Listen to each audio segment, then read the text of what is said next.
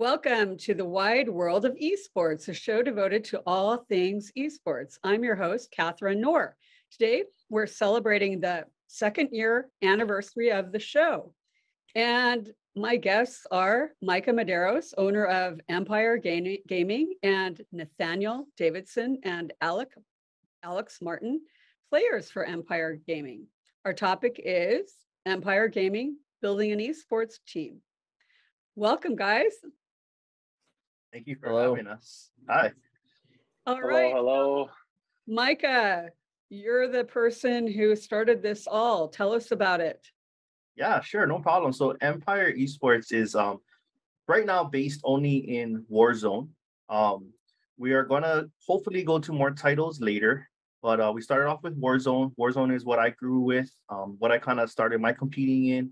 Um, and then once I decided, you know what, I'm getting a little older for competing it's time to find some young talent. Um, went out and and and found some some talented individuals that are up and coming. Fantastic. So, uh, Nathaniel, what's your gamer tag? Uh, Reese WZ. All right. And where did that come from? Uh, Reese is my middle name, so just kind of easy. okay. How about you, um, Alex? What's your gamer tag? My gamer tag is uh, Astro Boy Hero. Um, I'm really into music, and so I derived a little bit from it from a couple of artists that I liked, and I put hero in it just because I just felt like anybody could be their own hero, and that was kind of what I wanted my message to be, that you could just be your own hero. Okay, fantastic. And of course, Micah, you have a gamer tag. What is it? I do. Mine is Hawaiian Tunda. Um, I actually made that when I was really young. Um, I don't even remember. Uh, but I've been carrying it ever since, never changed it. So I've been Hawaiian Tando for a long time. So I think that that's kind of normal that uh, people come up with their gamer tag when they're pretty young and then they yeah. stick with it. N- Nathaniel, how old were you when you uh, created yours? Uh, I created that one about a year ago. My old ones I just couldn't use anymore. Okay. Not really. How about Wasn't good for Twitch. Right, right, right. How about you, Alex? I think I've had mine for um, a little bit, about two years. Oh, okay, okay. So you, they are fairly new. It's just Micah who has the the one since he was a a kid. Mm-hmm. So, um, what what led you? What was your inspiration? You know, for putting this group together, Micah. Yeah. So um, you know, when I was growing up, I used to watch a lot of uh, CDL, so professional Call of Duty, and um, I was a big fan of Optic Gaming. Watch them. I still watch them to today, and that was like my my go-to. Even when I was kind of feeling stressed or I needed a break, um, I always just watched Optic Gaming things from their content to their competition, and you know, at the time, I, I wanted to compete you know, I had the dreams of like, okay, you know, one day I could join that org, one day I could be something with them. And then I slowly started to realize that uh, I, I kind of wanted more of the ownership role. I kind of wanted more to create another optic gaming, if you will. And in Hawaii, esports was never really super big. It's never really been a, a popular thing. Um, I think a lot of people play, video games casually, but as far as a professional esports organization, it wasn't a thing. And I wanted to kind of be one of the first to take an esports team that I created and me being from Hawaii and be able to make it something national or international. And that's kind of where everything began. It was that inspiration from watching Optic Gaming to today being able to have my own team, be fully licensed, and and take this this journey. Sure and and you guys are in different places in the country. Where are you today nathaniel? I'm in kentucky. Far away. Far away from you guys. Uh, i'm in uh, nevada. So so alex how do how do three people and i know you have more people on your team how how do you get together from all over the country um, you know, that's kind of just the tricky part. You kind of just got to see who's on, maybe even schedule it if we're even that on top of it. But you just kind of got to go with the flow. Whoever's on, you know, you just kind of grab and go. So um, Nathaniel, have you ever um, met any of the guys on the team in person? No, I have not. I've not met any of them. All right, but you know what? Nowadays, it seems like we we have met people because I mean, even though um, actually Micah lives pretty much next door to my office, I feel like I've met him. Yep, Yeah. yep. We're neighbors. We're neighbors. Right, exactly. Um, yeah, I guess Kaneohe is a small place. Um, exactly. So, um, uh, Micah, what games do you play um, nowadays? So I still I still play Warzone. Um, I'm not nearly as good as these guys. I, I try and, and hang with them. I'll I'll hop on and if if any of these guys are playing, I've played a little bit with Astro. I haven't played with Reese yet, but just watching them play and then getting in, it's my my mind tells me yes, but my body says no. so um that's kind of what I do. I still try and play Warzone. Um, I like to keep active in the Warzone scene. I like to watch a lot of competition now in the Warzone scene. Um, if there's anything that I can take from it and share with these guys, then why not? You know, and these guys are all really good at listening, hearing me out. If I do have suggestions, uh, maybe play something a little different or or go into the game a little bit different. Um, these guys are all open ears, so I try and play Warzone as much as I can still. How many um, how many people are on the Mpire team? Um, so right now I'm currently at four. Um, the reason I started with four is that Warzone at the most can go quads, which is a four-man team. So I wanted to get four individuals who are passionate, um, who could put in the time and wanted to put in the time to grow. Uh, so I found these four, and there's a whole story to finding these four guys. Um, it's not easy, but I was able to find these four guys, and um, you know, we're hoping to grow eventually. But right now, I want to stick with these four, and you know, put everything I can into these four guys. So Nathaniel, for those people who have never played Warzone, can you explain it to us? Um, yeah, it's a battle royale game, kind of like a realistic version of Fortnite. Is what I tell people that uh, have never played before with no building. It's just a boots on the ground, realistic Fortnite in a way. And Astro, what is your um, position in, with the team? Uh, as far as Or, or do you like, have a being a player. Yeah, like, like what is your maybe specialty, strength, or a position? um, mostly just like a running gunner. I'll I'll be point man. I'll I'll I'll sniff them out for everybody. And how about you, Nathaniel? I don't even know. That's kind of a tough one to answer in Warzone. Um, Okay. I'm pretty aggressive, so I like to have teammates that can buy me back because I do a lot of dumb stuff. Uh, yeah. And I know you're pretty, uh, your team is pretty new. So Micah, have you played any competitions yet? Um, yeah, so we are new. Uh, we just started in July, so really, we not even a month yet, but um, we have had a few competitions. Um, everything is online now, you know, with COVID and everything. So all of the competition is online. Um, as far as bigger tournaments, a lot of those bigger tournaments that are online are slowly kind of dwindling. Um, the state of Warzone right now isn't the best, but there's a lot of uh, hosts that will run small tournaments. So uh, all these guys have participated in the smaller tournaments. Uh, we just had a bigger organization hold a tournament again, and um, Astro was able to play in that.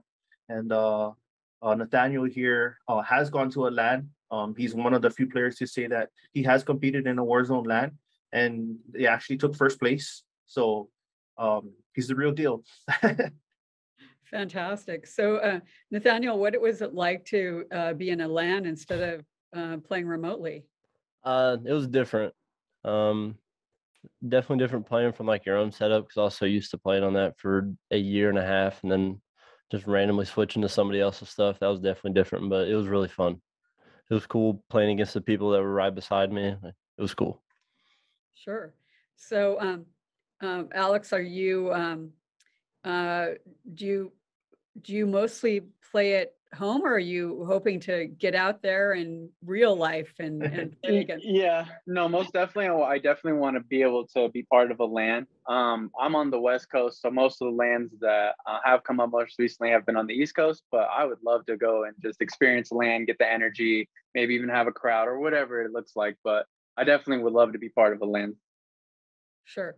So Micah, what do you think about the ping in Hawaii and how that impacts us here?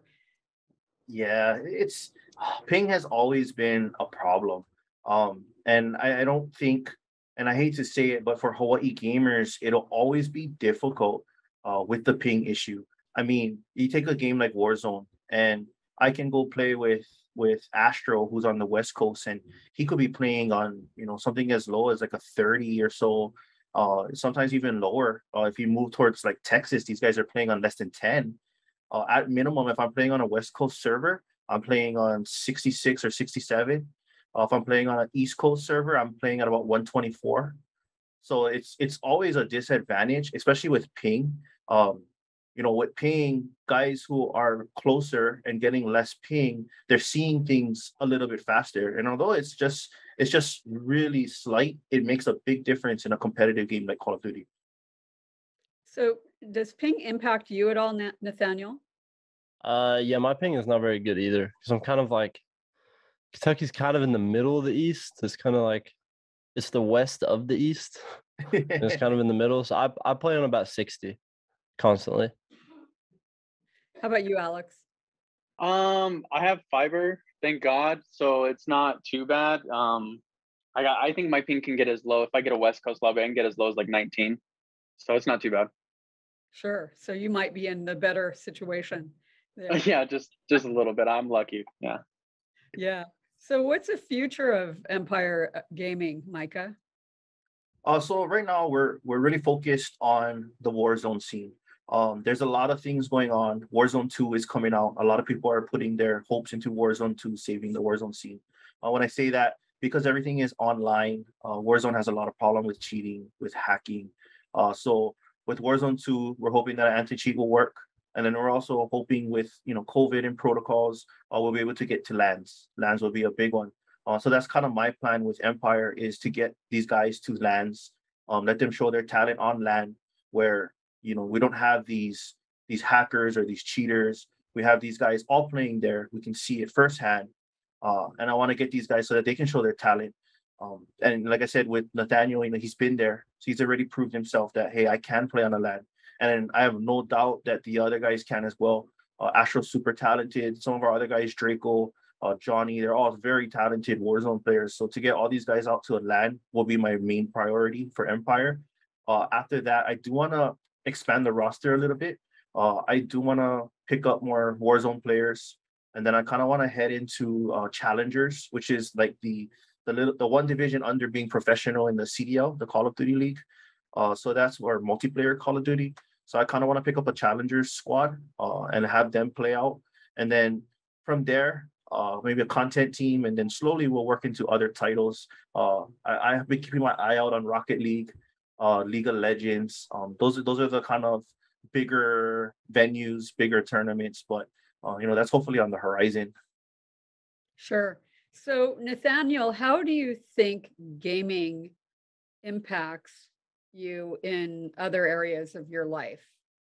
Uh, well, I'm a super competitive person. Played sports my whole life. Um, played football in college, so I just had to have something that I could do that was competitive in my life. Like if I'm not competing, I don't, I don't know. Like I couldn't, I couldn't live without competing. I got to do, I got to do something. Well, that's great for your uh, teammates to know how competitive you are. That you just want to win at no cost, right? Yes. I love winning. Fantastic. All right. Um, so how about you, Alex? Do you feel that um, that gaming gives you skills for other areas in your life? Um, yeah, most definitely. I think that being a team and and understanding what you like uh, even yourself like being able to diagnose like what you need to get better at a lot of self-reflection i feel like comes with competitive gaming being honest with yourself and and others like even with your teammate having to be honest with other people is is huge. Sure sure. That makes sense. I mean communication w- uh, with your team um, that would definitely help uh, you in in any kind of area of your life. Micah what do you what kind of uh, skills do you think are transferable in gaming to other um, areas? Um, I think one of the, the biggest ones, especially for me when I learned from from gaming, uh, and these guys as well is is that social skills. Um more like how to talk to people how to network uh when you play this game and you play these tournaments you're constantly joining lobbies with other people. You have to talk to these strangers who you've never met. And you know sometimes you have to discuss something that happened in the game. Hey you know there's a hacker in that game. We got to reset this or whatever it may be. And you're you're dealing with a lot of personalities. You know sometimes you have people that aren't very nice. Sometimes you have people that don't want to do something. And being able to learn how to approach these people how to talk to these people um, you learn a lot of social skills believe it or not from gaming So Nathaniel, what kind of skill, you, you're the competitive guy. Do you, do you want your teammates to be equally as competitive? Or um, do you have particular skills that you're looking for in teammates? Um, yeah, I was I would say just I just want somebody that is uh as competitive as me and wants to win. If they want to win as bad as I do, then I'm perfectly fine with playing with them. That sounds fantastic. So, um, so, um, have you guys, and, and I'll let whoever has had this, this, this experience kind of, um, answer. Have any of you had problems with, like, when you were younger with, um, parents or relatives not appreciating your gaming? Any of you guys want to take that one I mean, yeah, I'll, I'll take it. Um, I kind of grew up in a little bit more of a traditional household. They, um, you know, they wanted me to get a job and and and just work. Uh, construction is really what it what it was, and I was always a uh, competitive. I just wanted to compete into something, whether it was sports when I was younger, um, and Call of Duty just really had me um, at a young young age, and they just never understood like why I would yell so loud. They never understood any of it. So they would just always get on me, and I'm like, well, it's like like life or death right here. Like my ego is on the line, guys. You don't get it. But um, no, I, I mean they they didn't really understand like why I was competing. Now when because obviously you got your Nick Mercs, you got your swags. Now that I'm like, look, look, look, look, this is what I'm talking about. You need to pick your head up. They they kind of come around now, and they they've definitely become more accepting about all of it. But at first, they really didn't get the young gamer in me. Anyone else want to tackle that question? No, I think he covered it. I think that's a lot of um parents now. Nowadays, it's a little bit easier, like uh, Astro said, to to show them, you know, who look at these people who are successful. But I mean, I me growing up was the same way. I used to I used to have bad internet, so I'd have to wait until the middle of the night on a school night and plug in the internet. And it's like, what are you doing up? Why are you gaming? You know, it's not gonna get you anywhere. And it's like, well, if you look at today's world, it will get you somewhere. Oh, fantastic. So Nathaniel, did COVID impact your gaming at all? Um, not really, because I still worked during the pandemic, so it really didn't didn't affect mine. I still got to play the same amount. Sure, sure. Um, how about you, Micah? Uh, it was kind of the same for me. Uh, we we had to work, so my gaming was still the same amount. But I think at the same time, it it opened the door for gaming. So I mean, I can appreciate it for that. Sure, absolutely. And how about you, Alex? So uh, originally the when the when I first the pandemic had first hit, I had two weeks off, and that was the first two weeks of Warzone. Um, it definitely um impacted into where I just I got back into gaming because I had Fortnite was kind of falling off, and I wasn't really gaming at, anymore at the time. So I think it affected it into the path where I am today. Sure. So Nathaniel, what do you think the biggest challenges for esports athletes are? Biggest challenge, um, sleep, honestly. I'm not kidding. Because I mean, to play at the level that some of these people play at, especially guys like us that some of us do have to work and play, like it, it's hard. It's hard to have a life outside of gaming and still play at the level that you want to play at. Like there's some weeks where I'll sleep five, six hours a week. Sure. Yeah, that's that is pretty rough and you're trying to be healthy so you can Exactly. be sharp, right? So so Alex, what do you think? What do you um uh Yeah, your- I think I think that um, time management would just probably be the biggest thing. Um, because uh, with becoming like a um a competitor in any sense, I mean, you got to practice, you got to put in the time, you got to play the tournaments. Um, and on top of that, especially in this kind of um, uh, scene, you need to be able to like maybe do content creation or something like that. So there's a lot of different ways that just time management is probably the biggest key and all that is the biggest challenge. Well, you you actually read my mind. The next question I had was content creation and um, streaming. So are you doing uh, a lot of that, um, Alex? Um, a little bit, a little bit. I have the TikTok, I have the YouTube. Um, I used to have an Instagram and all that stuff, but it, it's it's I think it's TikTok and YouTube mainly for me right now. Um, is just be a short form of content and then maybe a little bit more of a longer form. How about you, Nathaniel? Are you um, streaming your play?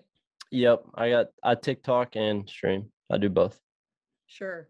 And so, uh, Micah, are you doing any streaming or um, is that something you're not doing as the owner? Um, I I've stopped. I used to stream a lot. Uh, I I stopped. I try and go in these guys' streams and support. Um, I can kind of tell when they're gonna be on. Well, Nathaniel lives on stream, so Nathaniel's always on.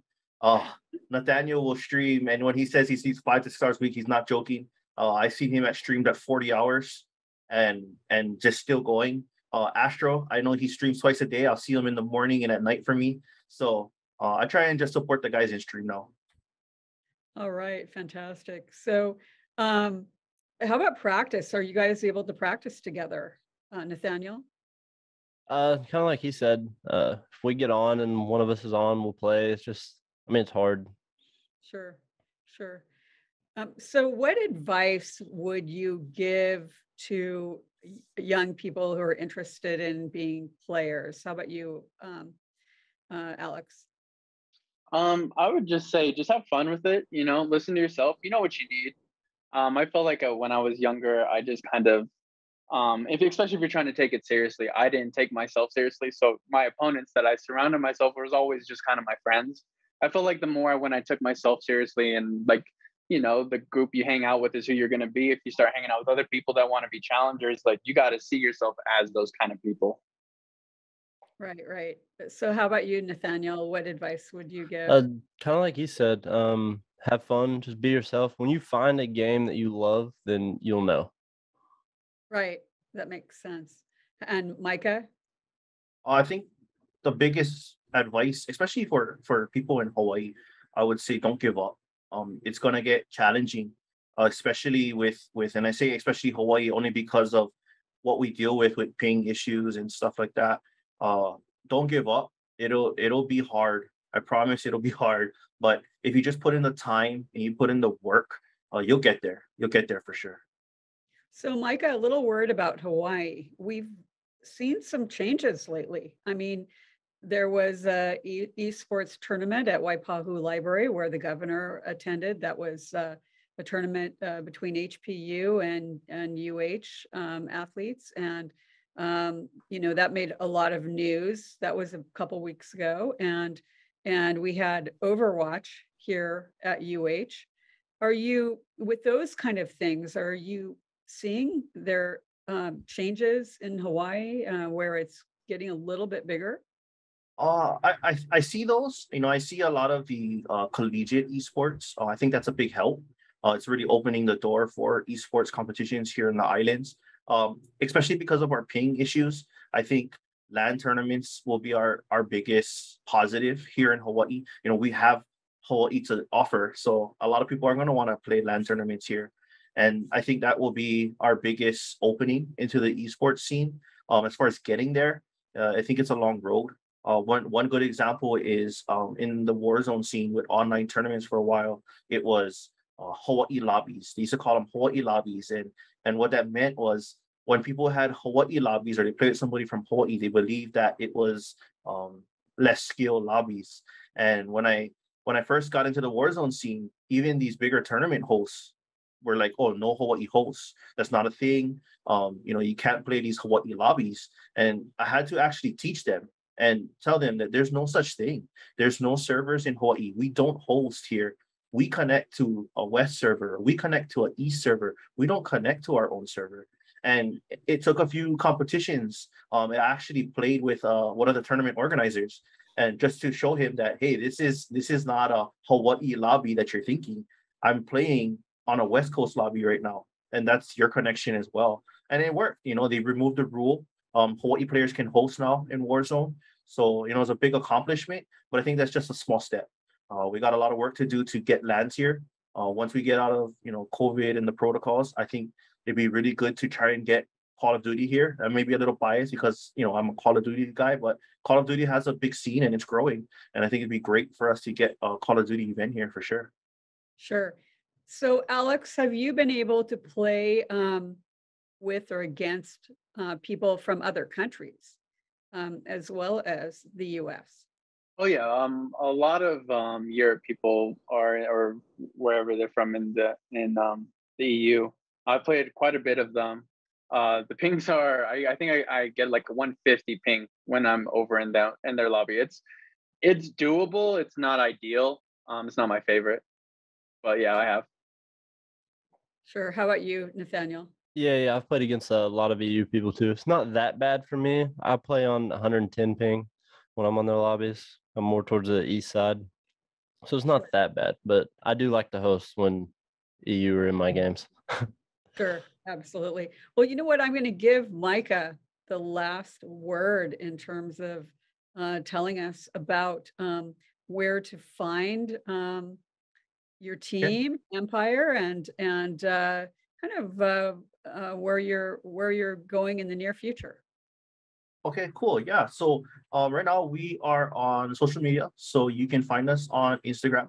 Uh, we don't use the Instagram too much, but we are on Instagram as Mpire Gaming. Uh, if you go onto Twitter, that is our main form, uh, twitter.com, and it is gaming underscore empire. Uh, and then if you go to YouTube, uh, I host a podcast on YouTube for the Mpire team. Um, it's called the Empress Podcast. So on YouTube, if you go onto Mpire Gaming on YouTube, we're also there. Um, what was the other half about the question? Sorry.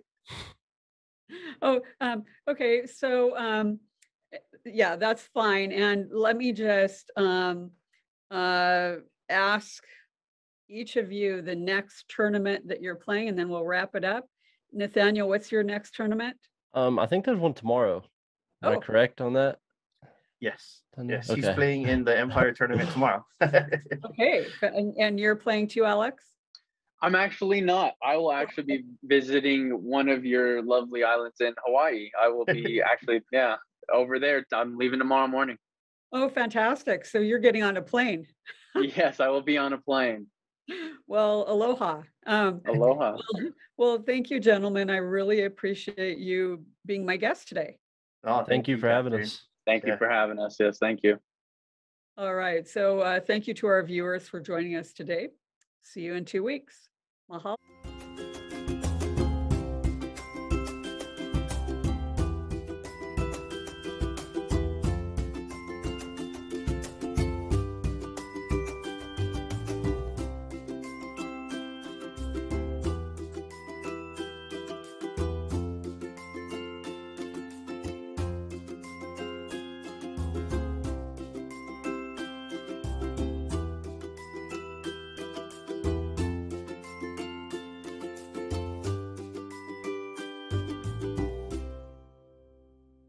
Thank you so much for watching Think Tech Hawaii.